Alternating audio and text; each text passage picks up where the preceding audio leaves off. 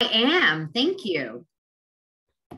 Thanks, Veronica. And we would like to also extend a welcome to you. We appreciate you all attending. We know that non-credit coding is not always the most exciting. It's not going to your musical, um, but it is important and uh, there'll be a lot of information that we're going to share today, as well as um, sort of walk you through some of the processes that we use. Um, we'll be looking at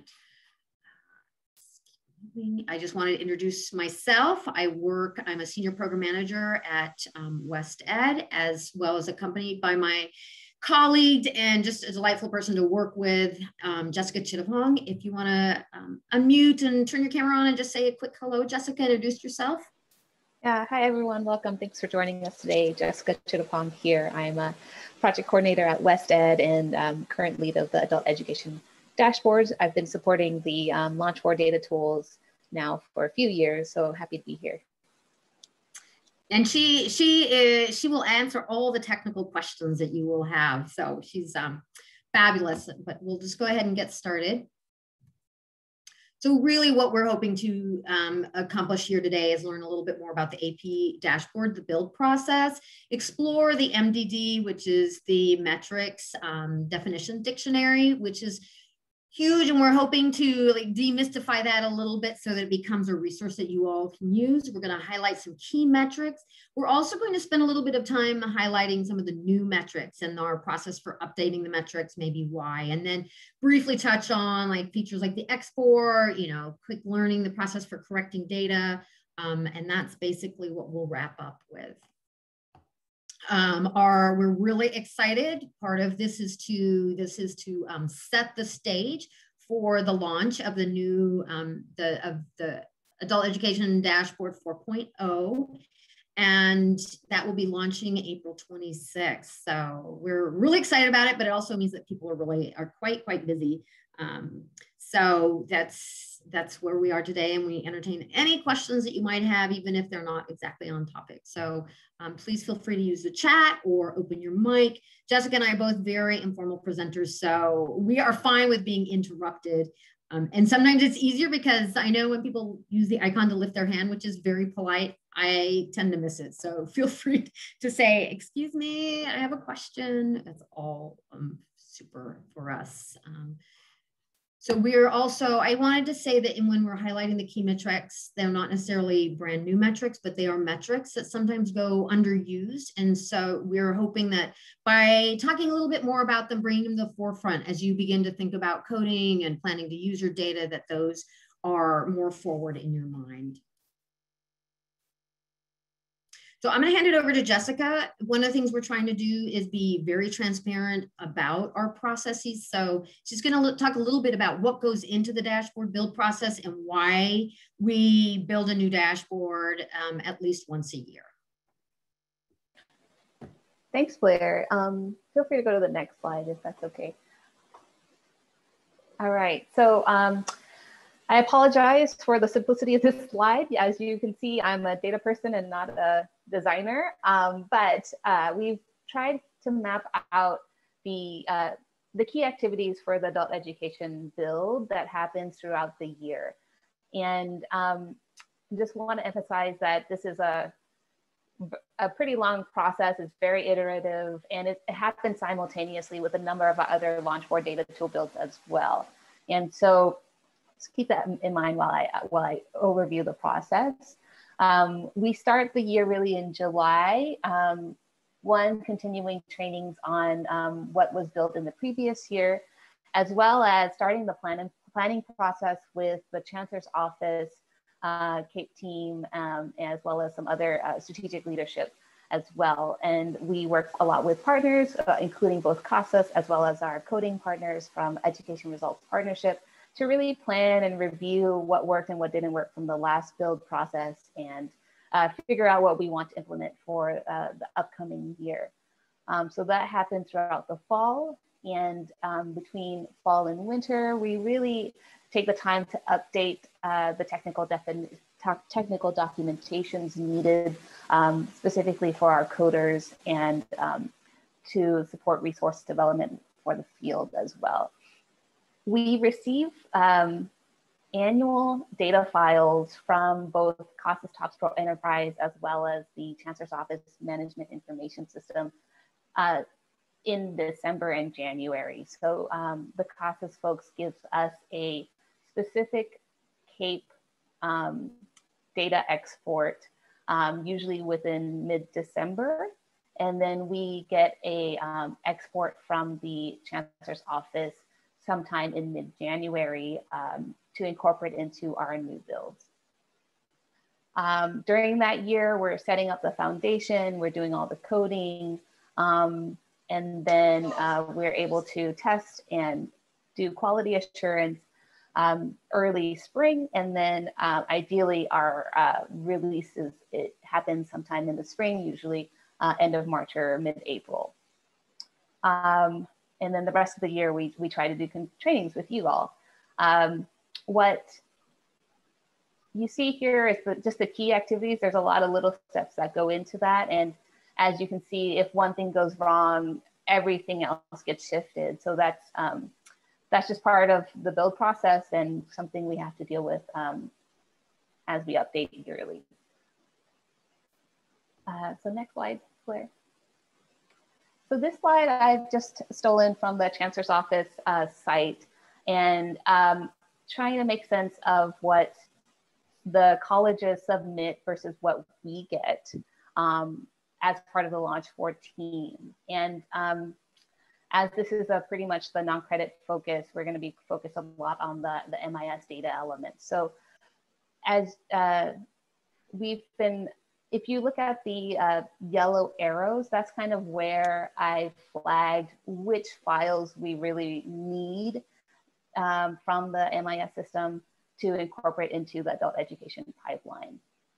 And so um, as you can see, colleges may be submitting at different points in the year, but we really only get the data um, once in January. So I wanted to point this out and I wanted to flag the specific uh, data files that we rely on to, to really power the build. And it's, it's mainly going to be uh, student files as well as the course file. And sorry, Jessica, when do we get the CASAS file? We get the CASAS file uh, usually mid-December. And I just pointed that out because I know that you all receive um, summary reports, the CAPE reports, which um, summarize your your CASAS data on a quarterly basis, but we receive the file, the full file only once a year. Any questions before we move on?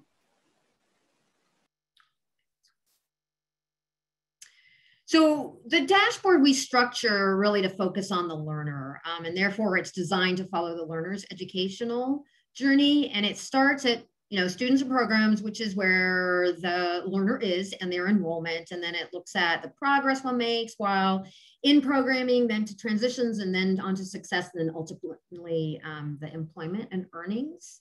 And we call these the key student progress metrics will they'll show up here underneath them. You can see how they're categorized, and I'm sure all of you are familiar with them already. But um, that's just how they they break out into our into the onto the dashboard, and we collect um, data on each one of those.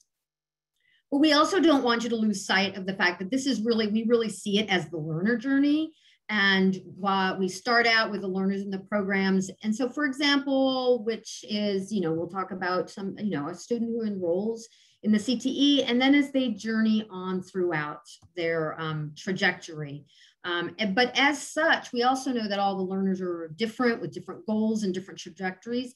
So we also account for entry and exit points that track across the academic year um, and or their journey, right? So they have the arrows. That means that they exit. But just because they exit, we like to point out that there is also data. The data also shows up should they either do a, um, a gain, um, uh, uh, an, uh, educational um, functioning level gain, or if they end up being enrolled, that those will show up in your different different parts of the buckets. Right? Just because they exit doesn't mean that they don't get tracked in the system. Um, They, so that also that as a coding note, it's really important to collect the data in that first bucket, the learner and programs um, of that journey, because they these data points also affect how data is attributed to learners and your institution um, across the uh, across the year in the dashboard. So, for example, ensuring that the learner's attendance or enrollment are captured influence whether the participant metric is activated right? And the participant is, a, is different from the reportable individual, which Jessica will talk a little bit about, more about later. Um, we try and make the dashboard as complete as possible uh, until we identify new outcomes to measure or we receive feedback from you all as the field to add additional measures that or that are meaningful to chart in the student's progress and the possible relationship to the services.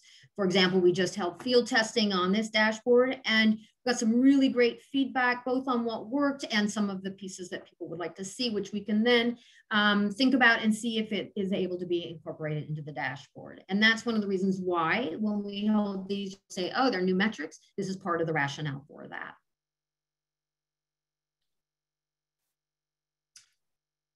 So the MDD is your go-to resource. It um, and it does definitely appear to be unwieldy. Uh, we know due to the amount of information in it. Um, however, if you know how to come at it, it becomes less overwhelming. And for me, I put these stairs here because when I first started working at WestEd on the AEP, I did not want to touch the DAX, the MDD at all. and yet, as I explore it more, it always reminds me of like going into the different parts of a library, you know, like opening and exploring a secret. And that's what, you know, the MDD should be. It's not, it shouldn't be so overwhelming, but rather it's um, should be perceived as going into like that basement room in the in the library um, and realizing that it's an entree into the dashboard coding process. It gives you absolutely all the information that you will need to know. So for example, you have all the data points. You can find out all the institutions that are tracked for the dashboard. Um, it will tell you about the displays and then um, any of the limitations or ca uh, caveats, as well as in this part about where it says all metrics, it lists all related COMIS and CASAS TOPS Pro Enterprise. So if you're wondering what you should be coding or where those data points are coming from, they will tell you that. It will also give you the calculations. So, and we have for each of these, they have a metric ID, which would be the number, and then the label, which is for, in this example, reportable individuals. And, but also in the naming conventions, they all have numbers and they are sequenced so that they start with the lower numbers in those initial buckets and then they continue to um, move up so that they're actually mirroring the learner journey by structuring the trajectory by increasing numbers. And once again, I like to just make a plug for remember that what you code in the journey affects other counts um, and uh, so that you wanna make sure that your information is complete. So I'm just going to walk you through what we call as the information about a metric that you're going to find. And this is part of why the MDD appears so long is because we take every metric and break it down this way. It will include that metric ID and the label um, and the following fields, which I'm going to walk through. There's a description, there's the student type. So this one is about participants in ESL. So we're looking at adult education ESL, display is what it will look like on the um, dashboard, and then Importantly, these are the data sources that we use to inform this metric, right? So we pull data from both um, TOPS Pro and from COMIS. Other piece that is um, important is that it will show you the breakdown for each of those sources, right? So here's the TOPS Pro. This will tell you where the data is coming from. And then this is how it will tell you how we get the information on the dashboard. What do we include in that calculation? Um, so here's the calculation for the participant. And then because it's for ESL, we're also looking for somebody who's enrolled in ESL. Um, and as I said, it's a lot of information. For COMIS, Similarly, we um, have that information and it allows you to also um, cross-reference that you're completing all the fields needed to correctly calculate outcomes on the AEP dashboard, right? And these, because we have access to the COMIS um, definitions dictionary, that you can actually, these are all live links. So if you have any questions about this, when you're looking at what going into COMIS, you can click on that. It will take you over into the COMIS section, into the COMIS um, definitions dictionary, and you'll be able to access and understand what's going on there. Cheryl's asking if there's a discrepancy between TE and COMIS and what's the uh, rule for resolving this in terms of the metric used in Launchboard? That's a great question. Thank you, Cheryl. And it's one that I know we wrestle with. As I said, I'm going to let Jessica answer that because I think she'll be able to tell you more about how that works in the calculations. Sure, Blair. Um, so I guess just I'd like to know what uh, specific discrepancy you're referring to, but in terms of counting students, um, we count students in either data system. So if you're not flagged as an ESL student in, in CASAS, but you are flagged as an ESL student in the COMIS side of things, you will be counted as an ESL student on the launch board. Um, not sure if that was what you meant, but that's, um, that's how we do the counting. Yeah, or for example, another example would be um, the high school diploma program, and then the HSE that's acquired through um, either the GED or the TASC or HiSET. And that while they register differently, we, we, look at both of those fields. The HSD usually only appears in COMIS. So we will, when we're doing that calculation, we merge those two so that they both become one number. We see them as the equivalent. And so that's, that's how we adjust. Um, we make register equivalencies between the two systems and then merge them together so that they both appear on the dashboard as a singular number.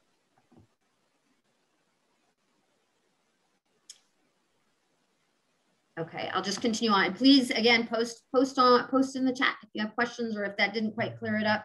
Um, please feel free to, to continue that discussion. I just wanted to clear, people are asking us, um, are always curious about what's the denominator. And so then we look at, th that's listed here as well. And then the numerator is obviously those who meet that criteria. Um, it also will tell you how things are displayed on the dashboard. So for example, for this one, you'll be able to see in percentage and distinct counts. Uh, it will also tell you where you can see and disaggregate the information.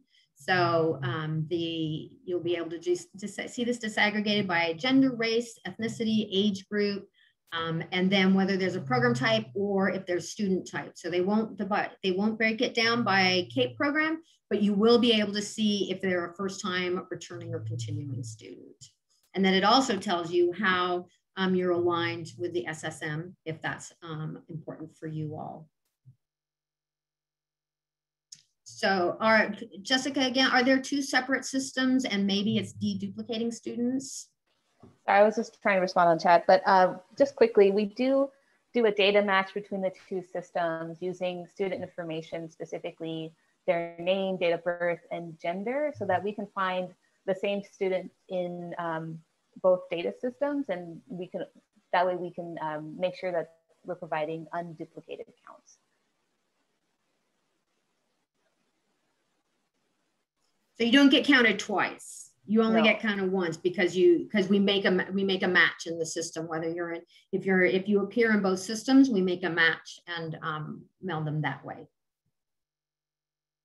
thanks neil the last section on this will be um, the notes which is which will tell you um, any uh, help, helpful pointers or it updates you on how a metric may have changed um, and just give you any additional information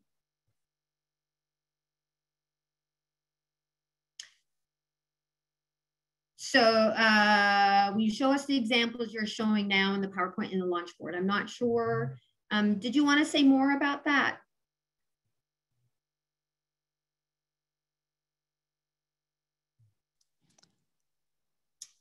It was two slides uh, before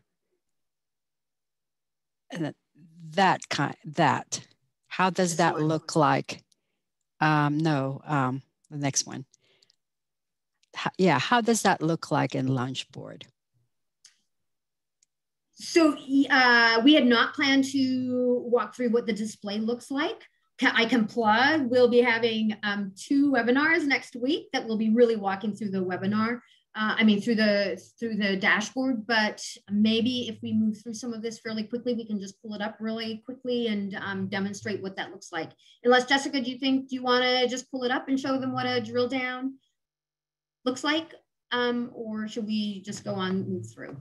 Um, let's make sure we can get through the content and then I can circle back to it if we have some extra time. Is that okay? Um, yes. Okay. That should be great. Thank you. Thanks, Dr. Ollinger.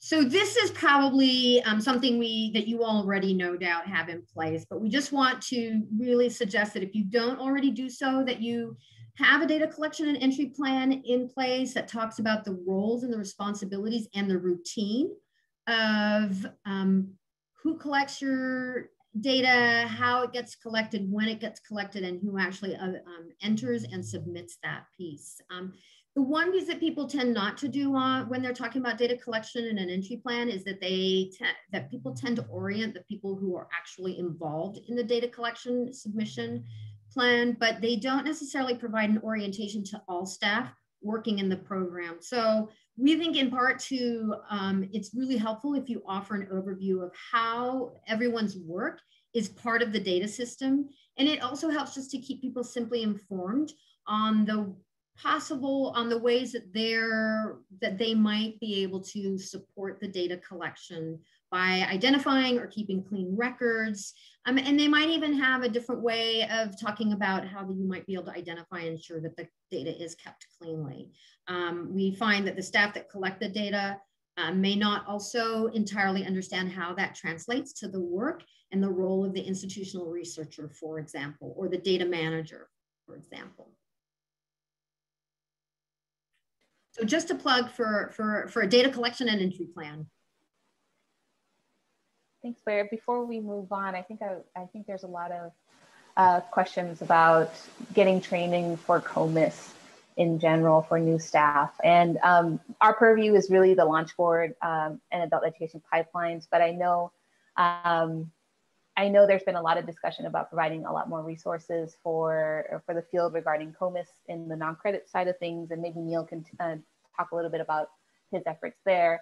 Um, but it is kind of uh, we're supporting the chancellor's office and thinking about that for the future and um, and uh, yeah, even though the reporting schedules are, are pretty set, I think there's a lot of um, local processes as well that um, that are not set by the chancellor's office that um, need to get worked through. I'll just I'll just say that. Uh, Jessica, yes. this is this is Neil. I would just say Neil. that in a, in the recent survey, we did a non-credit um, survey of professional development needs, and that was one of the top uh, needs was the COMIS training. So we will bring this up to uh, leadership at the chancellor's office and see uh, how we want to, um, you know, do, uh, meet that need. So more to follow on that. Super. Thanks, Neil. I think that's one of the things that prompted us to start thinking about promoting a data entry um, collection and entry plan because uh, in some of our conversations, we do know that there's a little bit of a gap between um, how that, you know, when and how and who's collecting that non-credit data um, up to uh, Emma's question about whether where priority lies in that. So thanks. I think that that's super and I'm glad people are talking about that. All right, Jessica, sorry, we barged in, I'll forward on and on to you.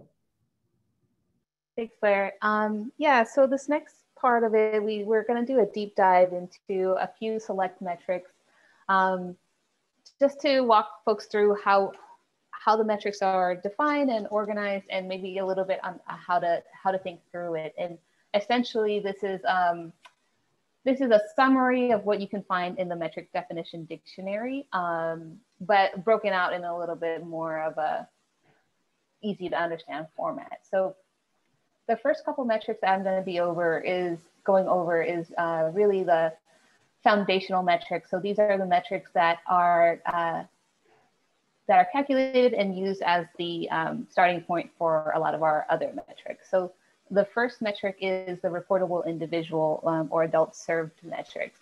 And the criteria for that is that we're looking for students who are um, 16 years or older, and um, they either had one hour of enrollment in adult education or non-credit, or they received services, uh, non-credit services or services from um, adult education, regardless of their enrollment status. So for um, for the CASA side, we get a student, we get a flag if the student was enrolled in a program, and then we get a, a flag if they received any of these particular services. Um, for the COMA side, we're really looking at student enrollment in non-credit courses. And what you have, what you see linked here is uh, the specific data element that is associated with that concept. So um, Blair had mentioned a lot about the uh, Chancellor's Office MIS definition dictionary. So if you're really focused on uh, the non-credit coding, uh, definitely click the link and use that as a resource because that is definitely our um, backbone for all of these um, calculations. So what we used to flag a non-credit course is the CB04 data element. And then uh, we also looked at whether or not they had one or more uh, positive attendance hours and that is flagged using the SX05 data element. Um, for this year, what's new is that we are specifically excluding tutoring and supervised study skills um, from the calculation.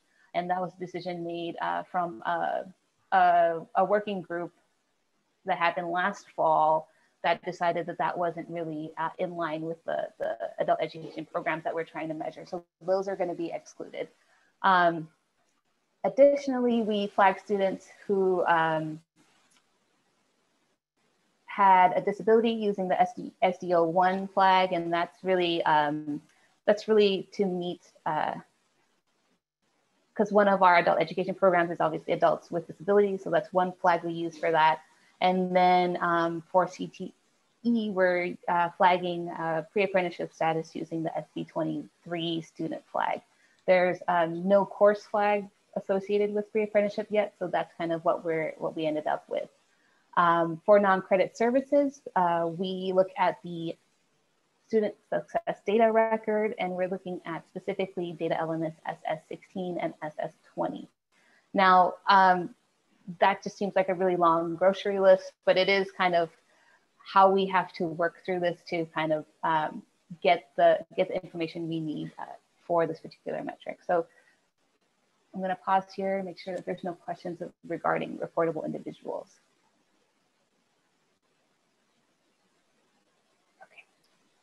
Um, Jessica, does the 16 plus, did you already answer that? Did this, does the 16 plus overinflate the numbers for CAPE reporting if CAPE is 18 plus?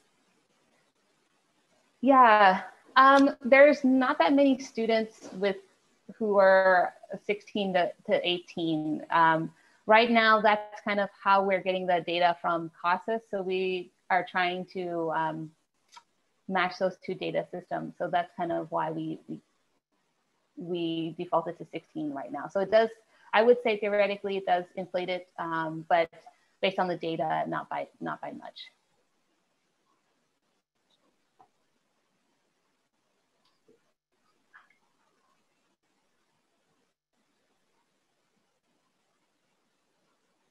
Okay, so the next um, metric is probably a, one of our main metrics because this is used as the denominator for all of our outcome metrics.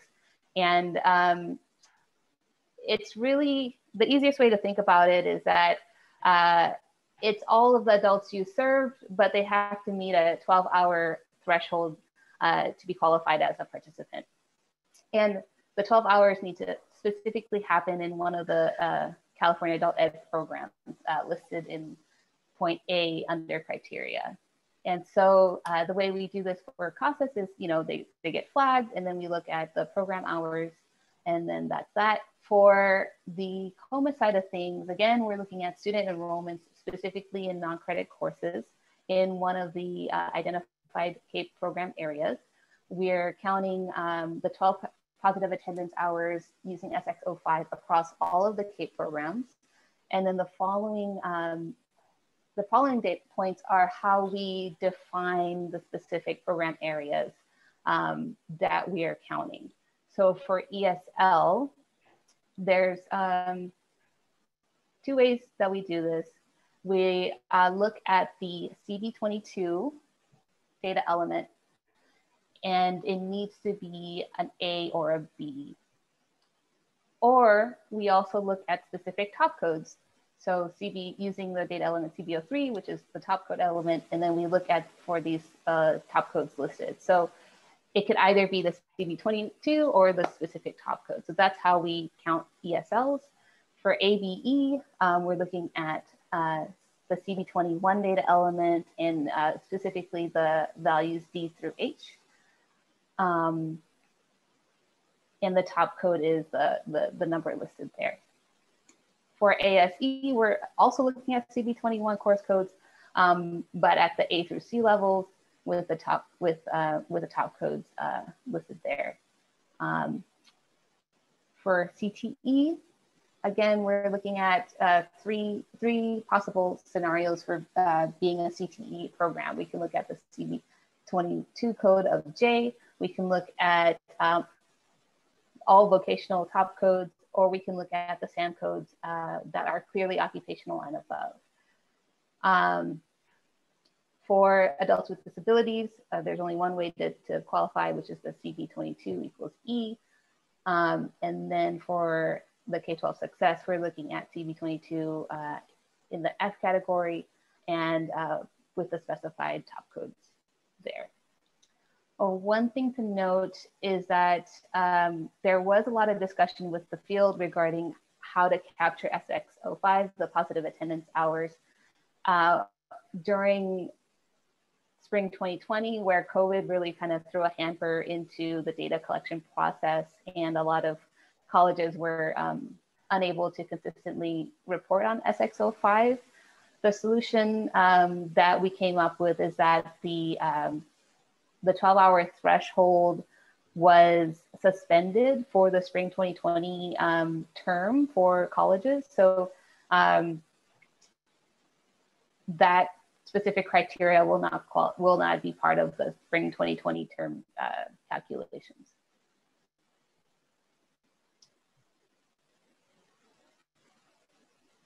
Okay, and we're, we're, we're, we're in this further discussions how that's gonna apply for, for next year's build. Um, okay. All right, so the next one is a pretty tricky one because there's a couple ways to, to get an educational functioning level gain. So the general criteria here is that uh, one, we're look, only looking at participants, so folks who had the 12 hour threshold, who were in ESL, adult basic education, ABE, or adult secondary education, ASE. We're only looking at those people from those programs, and then um, they can complete an ESL level by either uh, pre and post testing or through course progression in the same program area. So um, in CASAS, this is a pre-calculated field. So we look at to see if they're in one of those three programs, and then we look to see if they're flagged as, a, as completing a level.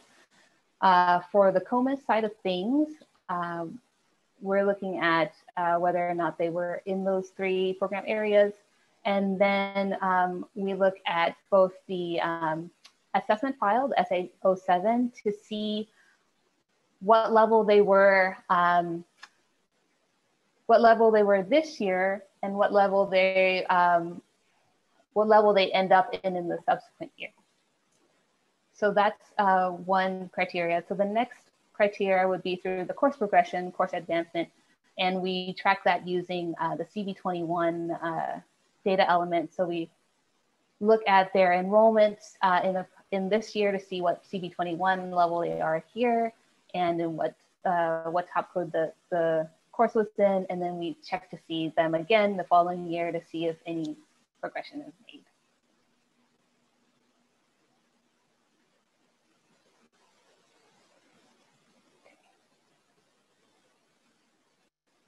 So it looks like there's no questions, but uh, the next focus, uh, metric focus we wanted to focus on was the transition to post-secondary, which is also um, a bit tricky. So we're looking at the same participants fra, uh, from the ESL games to here who will be counted in the denominator. So again, we're looking only at the ESL, ABE, and ASE programs. Um, and you can transition in two ways. You can transition to post-secondary by either enrolling in a CTE course or enrolling in a non-developmental credit course. Uh, and we we time stamp it because we are looking for this transition specifically for the first time for that student. Um, so for the CASAS TE side, again, we're looking at the same students. Um, there's a flag for if they had a transition to post-secondary that we count. Um, and then we look at our all of our records to, to make sure that that's uh, happened for the first time in the, in the year that we're looking at. For the COMIS side of things, uh, we are looking at the same set of students. And then we see if they end up enrolling in a CTE course. So we're looking at whether the top code is marked as vocational or if, you know, they end up in a, in a pre-apprenticeship program and that's something we have to look for in the uh, student file SB23. Uh, the second criteria can be met uh, by looking at whether they enrolled in a credit course and we use the CB04 data element for that. And then um, again, we look we look back in time to make sure that that, uh, that transition happened for the first time.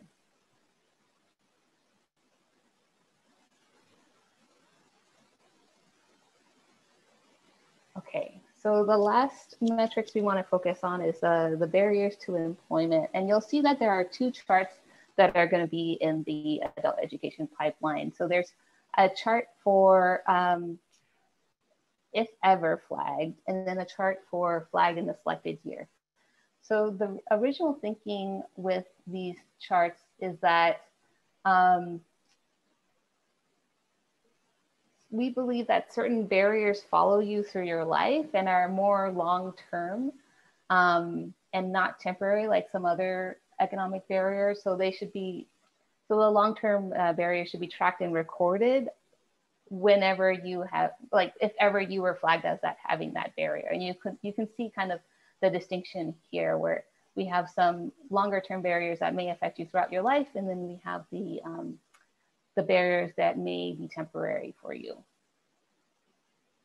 and I, think Jessica, are, when you're yeah I was just gonna say when you're coding if you you would want to every year for each enrollment you would want to um, verify the flagged in the selected year because that's what it gets counted for each year, right? Whereas if they're ever flagged, they don't necessarily need to be recorded again. Exactly. And these are mainly flagged using um, specific student files that, um, that you can see in the MIS. Terrence, I don't, I, yes, I think the logic is works, but I'm not sure that they're informed. Is there any empirical work or research that supports this decision, Jessica? Yeah, it's definitely a decision um, that was um, inherited uh, based on earlier versions of the launch board. And for consistency's sake, that's what, um, that's what was carried over to the adult education pipeline. I'll have to do a little bit more research to see if there was orig- uh, there was originally any work to, to, to think about this on the launch board itself, but it's uh, definitely a legacy thing, Terrence. So um, I don't have access to that now, but I can definitely look into that. Good question. Thank you. Okay, so things to look forward to in the new build that is meant to launch, launch by the end of the week. So look forward to that. So um, we talk a little bit about the transition and post-secondary uh, metric, and there's like two criteria that, that count as transition. We're actually providing um, two new metrics that break up break the break that transition up, uh, transition specifically to CTE and transition to non-credit developmental uh, credit coursework. And that, um, that would hopefully support different institutions that are maybe um, aiming for different things. So that's going to be available in the next build. Um, we also are introducing something uh, we call the top five chart. So there are new charts um, that are going to be available for a few metrics that um, tell you proportionally which institutions are the top five in reaching these in reaching these outcome metrics. So um, right now, if you select, uh, if you're looking at a statewide view and you click one of these metrics, you'll see the top five institutions who met that statewide. Um, and then at the regional level, if you select a region, you'll see um, who are the top five in that region. Um, and uh, hopefully that'll help uh, help start conversations and, and with your with future planning as well. Yeah, we're super excited. And a plug for uh, the webinar a week from next Friday, we will definitely be demoing those and people who reviewed it really, really found these to be um, useful and interesting, as Jessica said, for um, creating conversations and looking to people who might be able to engage in conversations beyond your institution. All right, so um, we're expecting a couple new data elements from the Chancellor's Office MIS system, specifically geared for adult education um, and non-credit. So our initial goal was really, uh, really simple, we thought. So we really just wanted an award data element for high school diplomas um, that are provided by the, uh, the community colleges.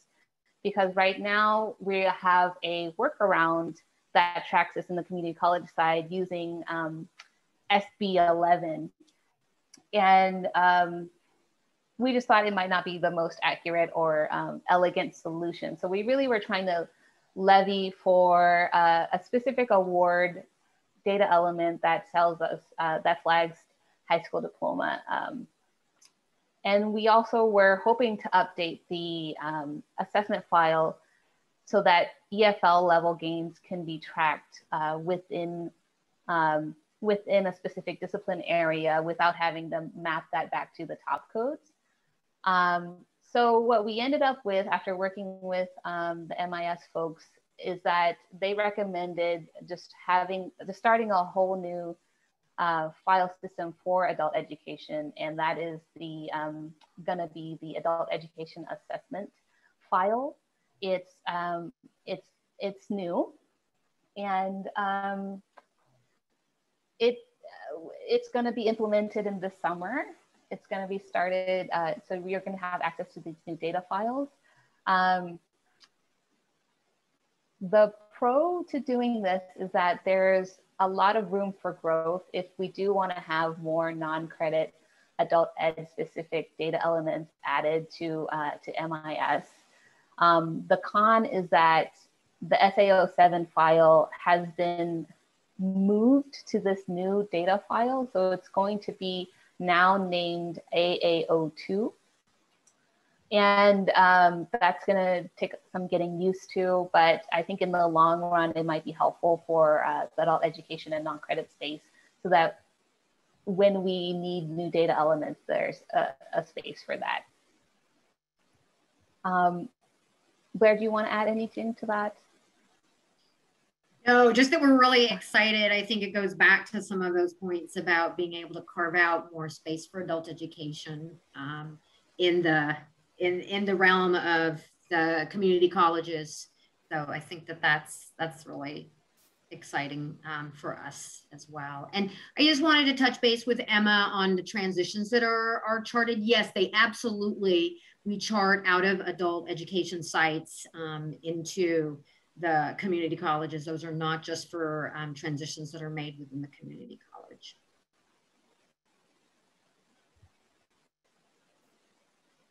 Okay, great. Um, so this is just a sneak preview about uh, what the data elements will look like in the AA02 file. So um, here, the MIS folks kind of merged our request for having the EFL gains broken out by discipline area with, um, with a data value for high school equivalency exam. So you'll see here um, the EFL gains uh, the EFL gains listed out from E1 to E5, M1 to M6, and S1 to S6 um, that are grouped by the um, discipline area and by the different, uh, different levels there. The H1 is specifically for the non-credit high school equivalency exam. So if a student passed a GED TASC or uh, this could be where you, you flag it. Um, next slide, Blair. Yeah. Um, yes, I just wanted to, um, thanks for your patience, Linda, but uh, I don't know the answer to this, Jessica. Would a local community college be able to pull a list of the students in transition from my adult school to that college? Yeah, so the pipeline itself only displays aggregate data. We don't have student level data there. I, we are, um, there have been discussions about colleges being able to do um, data exports using data on demand, um, but that's a process that we would have to work with the um, with the chancellor's office to, to implement and, and to pool. So I'm, I'm sorry, we can't, we can't pool specific students, but we can give counts.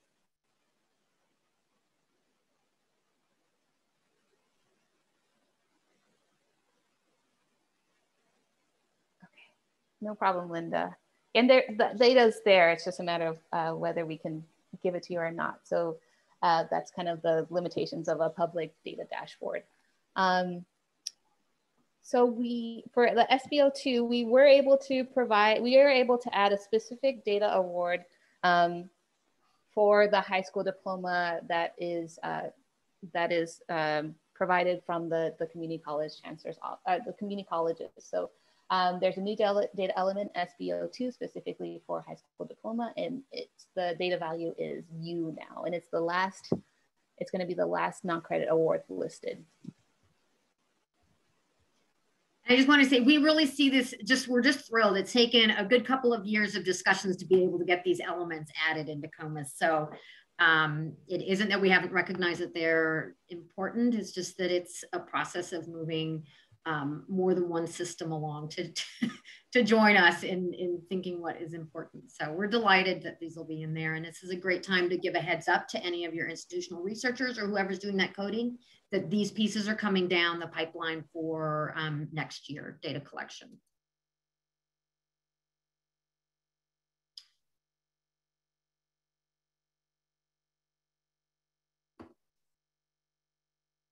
Think these may have already been addressed, or maybe Jessica, did you? Oh no, there you are. For the spring, um, the COVID-19 updates. Oh yes, I talked about this briefly. Um, this is just um, talking about how we're how we're up, treating the spring 2020 terms differently than the other terms, um, just because we're trying to mitigate the the issues of data collection within the time of COVID. So again, we're just doing away with the, the hour thresholds mainly. Um, so students who are in, enrolled regardless of hours are going to be counted um, as part of the reportable individuals and participants. We, we still have the top code exclusions and we are still looking at specific program areas, but the, the hour threshold is, is not counted for the spring 2020 term specifically. Um, and we'll provide an update if this is going to continue on for the following year or not. Yeah, thanks. Thanks. Neil is talking about the timing being good. Um, yeah, it's been a it's been interesting to look at the data, and we think that it'll be interesting to continue to look to, at the data for next year as well.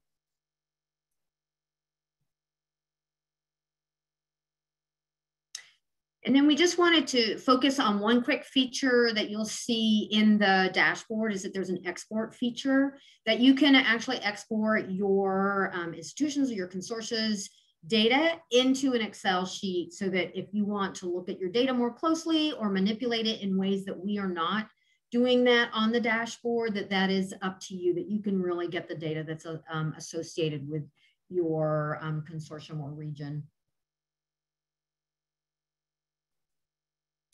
Uh, we wanted to let you know that we're working on a coding guide to accompany this. It will not be as detailed as the MDD, so we're hoping that it'll be more overviewing of information, walking you through some of the key metrics, but at a higher level that will um, help understand sort of the broad nature of um, the, the work that goes into coding and just we'll be have some coding tips into it and some guidance and a little bit more explanation of, of what to expect and what you might want to put in play and what do you need to know in order again to be able to move into the MDD with a lot of detail. And thanks, Emma. Yes. Jessica, is the, the question is, is that the same in TE as regards that the students enrolled in 2021 with less than 12 hours um, will be counted in TE data ingested into Launchboard?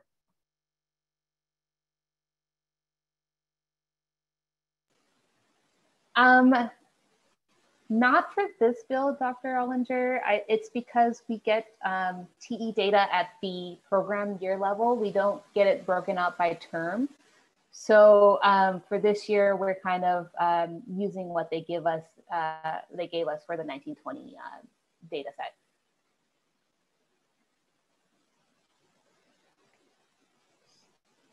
We know that we've given you a lot of information, a lot of technical information, uh, partly because we're figuring all of this out and the coding is technical. So we appreciate your patience as we've walked through that. Um, are there any additional questions?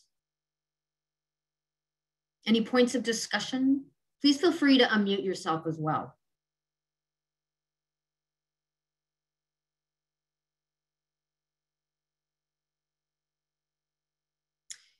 If not, Jessica, do you want me to stop sharing and we can walk through a couple of those features? Maybe um, I think there was the, mm, I have to scroll back up. I know that uh, the top five would be a great one. What was the one that was asked earlier about? Oh, the disaggregations, if we can show also how things get disaggregated. So I will stop sharing. Sure. Um, okay. So this is a preview of the site that's going to be live um, in a few days, actually. So uh, th these numbers might not match what you are able to access um, publicly. You'll be able to get to the site by just Googling Launchboard Adult Education Pipeline, and, and you'll be able to access the site. So just put, putting that out there. Um, this is what we call the home page, and these tiles correspond to the, the step ladder that, that Blair had mentioned earlier about the student journey buckets. So I think we wanted to look at specifically the program areas. Um, so before we get into each metric, we're getting taken to the summary view, which is kind of like the infographic high level view. Um, we're not really interested in that right now. It's, it's pretty cool, but let's go to the detailed data view. And this is the page where we have each metric laid out. So the first um, metric here is the participants in the ESL program. So um, what we have here is a time trend view. So we um, started getting the adult education data in 1617. So we've um, just kind of put that as a cutoff for this build. So we're only providing information from 1617 onwards, um, just to make it a little bit more consistent. Um, from here, you'll see the time trend view. And if you hover over it, you'll see the counts uh, of the number of participants who ended up in this program that we could count. Um, underneath is a little data table that displays the count as well. The drill downs are available on top of the chart. There's always going to be a drill down for gender, race, ethnicity, as well as age group. So if we click uh, race ethnicity, we'll see uh, the number of um, each ethnicity that are that we were able to find that are in the ESL and then hovering over it provides um, a count of the, um, the specific category as well as the percentage. So how you read this is that, um, let's see, for the American Indian Alaska Native, statewide, we found 1,400 participants who were in this category. 9% of them, which is the 122, um, are taking ESL. So that's how you read that particular uh, percentage point. So that's um, one drill down. You can also have a secondary drill down that specifies between first time and returning students. So first time students is whether is this is their first time in um, either system, the CASAS or the COMIS data set, or if they're returning, meaning um, they were found in either data sets uh, before the selected year. So that's a quick overview of that um, if we want to jump to uh, a progress metric, you can just click this little arrow here and it'll take you to the next section in the student journey, which is progress. And you'll see here uh, completed one or more educational functioning levels. Um, you'll see here again the time trend. And you'll see that you can, the same drill downs pop up Additionally, for a lot of these outcome metrics, we also could provide a drill down by program type. So if you're just looking uh, interested in looking at um, whether ESL folks were able to uh, get this educational function level gain, you can just click ESL and that'll update the chart uh, to display just ESL students. Now I'm trying to navigate to a top five metric and they don't happen until the transition page. So um, what we can see here is uh, top five transitions to uh, post-secondary. And you'll see here, because we allow for an additional year for students to, to meet that transition, we actually have to go back a year to see data. So if we go back to 1819, you'll see um, statewide, these are the top, uh, top institutions that are showing um, students who transition to post-secondary. And um, it is proportional, so these, these values will be very different and um, some smaller institutions will pop up. So it's, it's based on the proportion of students they are able to move into post-secondary. Okay, looks like we have a few chats. There. It was mainly about where they come up, but we have about one. Oh, thanks, um, Holly, for putting that into the chat. So those are people were asking about when the next webinars were coming up. And so the, for, the full list is in the chat and then you can register in the at the link that Holly um, just popped in there. Uh, so that is super. We are right up at one o'clock and I don't know if anybody has any last questions. Otherwise, I know we're supposed to shut down on time, so I want to take a moment to say, yeah, thank you. Thank you all. It's your interest in, in feedback uh, that really helps to drive a lot of these changes. Uh, so please feel free to send on questions to us. When in the PowerPoint, we'll have our last, um, on the very last slide, it has our contact information. Feel free to reach out to either of us and we will respond either with the information that you need or we'll, we'll look into it or send on um, the, you know, send you on to someone who might better be able to answer your question. So um, thank you very, very much. We appreciate your participation. All right, thank you, Blair, and thank you, Jessica, and thank you all very much for attending today's webinar. As um, Blair has mentioned and Holly posted a link to the registration page, definitely feel, feel free to register for the upcoming webinars. The next one is on April 27th, and it's um, for updates regarding the adult education pipeline. So register for those webinars as well as all of the webinars that we have listed on that particular page. We also have an evaluation that we will be conducting for Jessica and Blair. So please take a minute or two to complete the evaluation and let them know what you thought about today's webinar. And then also if there are any additional training topics that you think would be beneficial to the CAEP field as a whole. We look at those evaluation scores and the narratives, and we that's how we do our professional development planning. So we use that as a resource to make sure that we are getting you all what you need. So again, thank you all very much for your time. We will post a recording in the next couple of days, as well as a link to the PowerPoint presentation. So if you had to leave for whatever reason, or if you would like to share with colleagues, or if you would even like to come back and reference it you know, for future use, you'll be able to do so. So thank you all very much for your time and your participation and everyone have a great afternoon.